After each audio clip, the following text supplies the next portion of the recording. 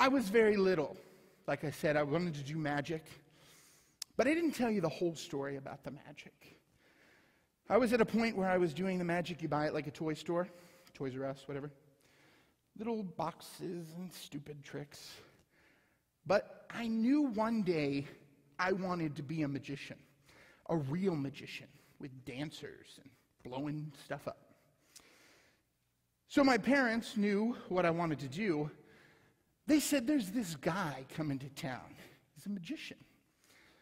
David Copperfield. I said, Mom, who's David Copperfield? She said, Well, we're going to go see him. He's a magician. You'll like it. So I'm all excited. I wake up real early that morning. I can't sleep. I'm going to go see David Copperfield, right? So we go to the theater. We had okay seats. I think my mom kind of skimped out on the seats, but I have to deal with that.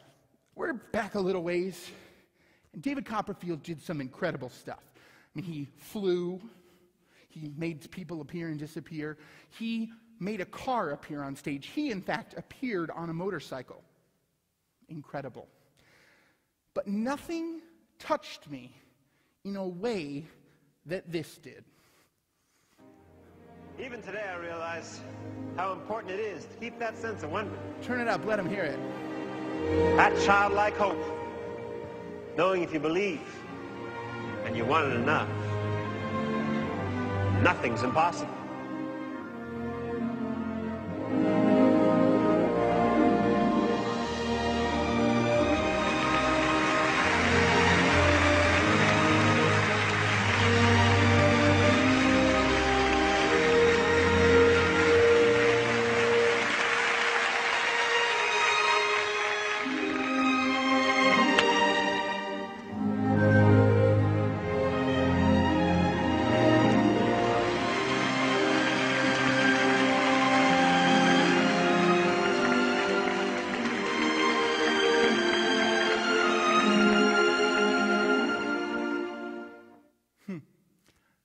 Get goosebumps. I mean it. I mean, when I saw David Copperfield make it snow, I had seen snow, I had played in snow, but when he did it, I felt real magic. I was in an age where I hadn't been sterilized by society and miss out on all the magic that was around us. I decided at that moment in that theater seat that I too would stand on stage and make it snow. My parents hated me for it because forever there was cut up pieces of paper all over the fucking house. It was my way of making it snow. This isn't a trick that's difficult by magical standards, but I knew I wanted to do it. And I was bipolar then. I wasn't diagnosed. But I knew that one day I would stand on a stage and I would make it snow. And more than that, I wanted to work with David Copperfield. I wanted to meet him. And I did. I spent many years in Vegas with David Copperfield. We worked. And every show after that, I too made it snow. I remembered that feeling that you have when you're a child, again, not sterilized by society. When you first saw David Copperfield make it snow on stage, that feeling.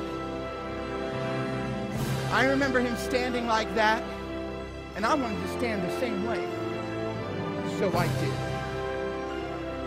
Right there. Video's old and outdated.